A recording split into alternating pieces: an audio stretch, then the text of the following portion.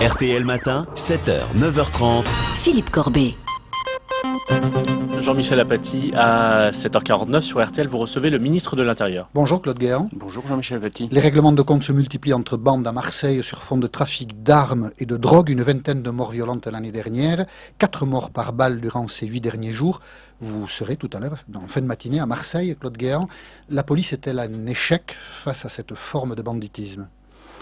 Il y a à Marseille comme ailleurs plusieurs types de délinquance que nous devons affronter. Il y a d'abord la délinquance du quotidien, je dirais. Et c'était une préoccupation à Marseille, comme dans d'autres villes. Euh, nous avons obtenu des résultats, et à Marseille notamment. J'ai augmenté les effectifs de police à Marseille. L'annonce en a été faite au mois de mai dernier de l'ordre de 200 fonctionnaires.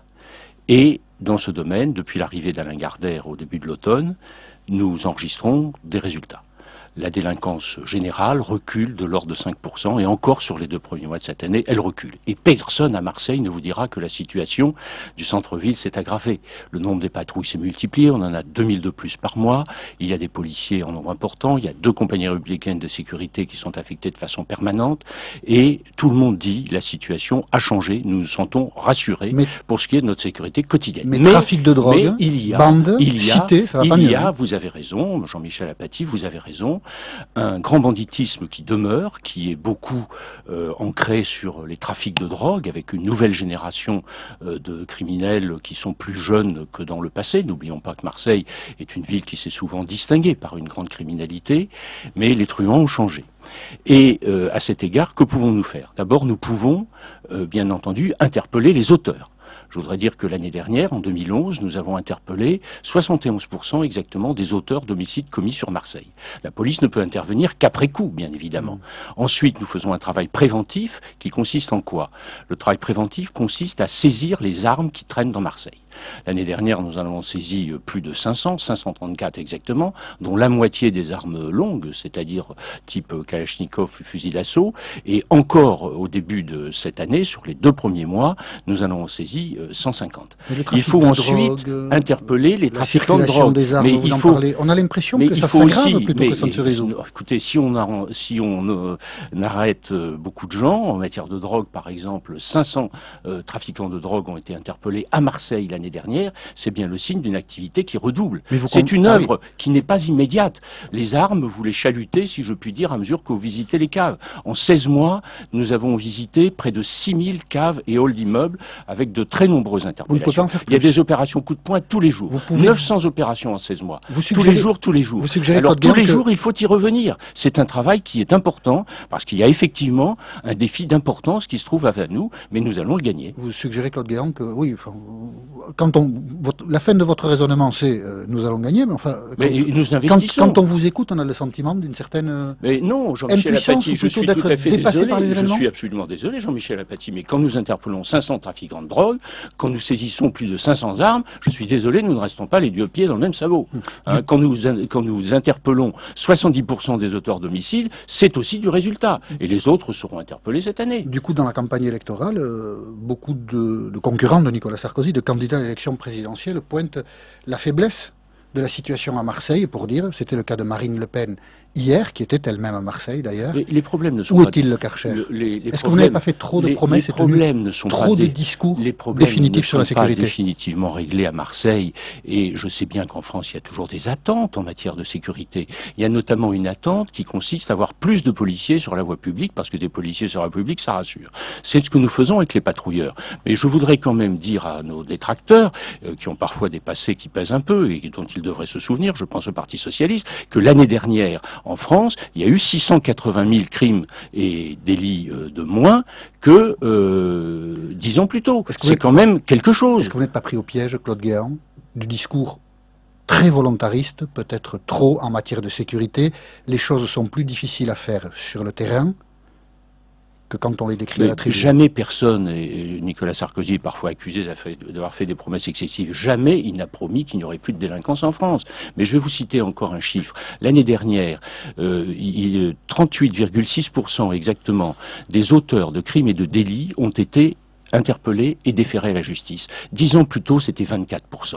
Alors nous ne sommes pas arrivés au bout, nous n'élucidons pas 100% des affaires, mais je constate que nous avons considérablement progressé de presque 50%. Donc vous serez à Marseille tout à l'heure en fin de matinée et vous Oui. aurez l'occasion de parler encore de Oui. la situation dans cette ville. Vous avez déclenché à nouveau, parce que ça n'est pas la première, une polémique très vive vendredi soir en déclarant à Nancy, dans un argumentaire visant à vous opposer au vote des étrangers lors des élections locales, vous avez déclaré ceci.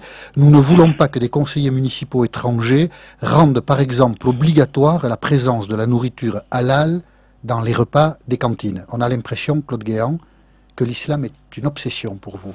Non, ce n'est pas du tout une obsession. Mais par rapport d'ailleurs aux propos d'Alain Duhamel tout à l'heure, je dirais qu'il est très important que nous puissions exposer aux Français des visions de société.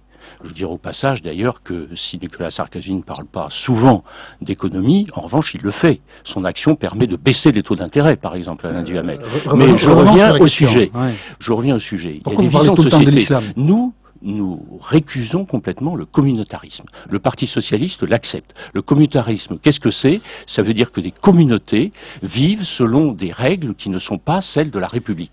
Et nous refusons que, à travers euh, cette possibilité donnée aux étrangers de voter et d'être conseillers municipaux de surcroît, puisque c'est la proposition de loi qui a été votée par le Parti socialiste euh, au Sénat, nous, vous opposez nous non mais permettez j'aille jusqu'au bout de Oui, ma phrase au moins. je- dirais que nous ne voulons pas que des règles intéressant la gestion des communes échappent aux règles de la République. Mais Et par exemple, vous un conseil municipal, par exemple, un Mm. conseil municipal a la possibilité de décider quels sont les menus dans les cantines scolaires. L'école, c'est le temple de la laïcité.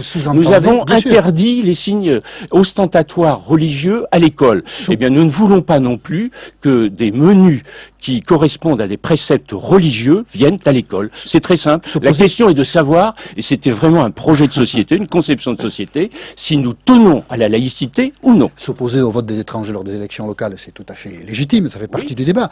Mais pensez que si ce vote se produisait, ceux qui seraient dans les conseils municipaux seraient des méchants, chercheraient à imposer des choses. C'est introduire un soupçon a priori qui est très étonnant, C'est une conséquence Les gens ne sont pas forcément méchants. Ben, les gens, c'est pas une question de méchanceté, Oui, non, pas mais les forcément gens des peuvent avoir des convictions. Et puis ils seraient minoritaires les dans les conseils avoir des convictions. Ben, qui, qui On a l'impression d'une Mais qui exagération. vous le dit Qui vous Bah, le dit On n'imagine pas que Mais les vous avez- étrangers mais- élus soient majoritaires dans un conseil municipal. Bah, là, C'est difficile à imaginer. Avec euh, les, les questions de Ah bon. liste, etc., c'est parfaitement imaginable compte tenu des proportions d'étrangers dans un certain nombre de communes. Hein. Euh, c'est tout à fait certain. Vous et je crois que notre devoir, c'est de souligner un certain nombre de risques. Et j'ajoute d'ailleurs que votre les menus, j'ajoute que ouais. les menus Il n'y en a à pas encore hein, des menus euh, religieux dans les écoles. euh, ne sont même pas souhaités par les musulmans. Hein, nos Donc, compatriotes, nos compatriotes musulmans euh, sont des citoyens comme les Français, ils sont pas moins républicains. Et le Conseil français du culte musulman n'est pas d'accord avec l'introduction de ce type de menu. Vous divisez Mais je dis qu'il y a un camp. risque. Je dis qu'il y a un risque. Oui, vous divisez jusque dans votre camp, Claude Guéant, Rachid Aldati dans le Figaro ce matin. Je ne peux pas souscrire à des propos qui assimilent les musulmans français à des étrangers. Elle dit diplomatiquement qu'elle n'est... Écoutez, je vais, Vraiment vous, éton- pas je vais heureuse de vous vos propos. étonner, euh, Oui. Jean-Michel Apathy, je suis entièrement d'accord avec Oui, les propos de Rachida Dati, parce que je n'ai rien dit. Je diplomatique. n'ai rien dit Oui, de tel. Je Mais- n'ai rien dit de tel. Mais vous avez compris ce qu'elle voulait dire. Non, pas du tout. D'accord. Je crois qu'elle m'a insuffisamment lu. Claude Guéant, ministre de l'Intérieur, était l'invité d'RTL ce matin. Bonne journée. Claude Guéant, qui est aussi en charge de la sécurité routière. On parle ensemble au 3210 ce matin des éthylotests qui seront bientôt obligatoires dans chaque véhicule à partir du 1er juillet, c'est Qui ça? sont une excellente chose. Eh ben, très bien. Absolument. Ça permettra un autocontrôle des automobilistes parce que l'alcool est devenu le premier fléau en matière de sécurité routière. On en parle ce matin les auditeurs et tous les auditeurs ne sont pas de votre avis. Au 3210, ça sera à 8h30.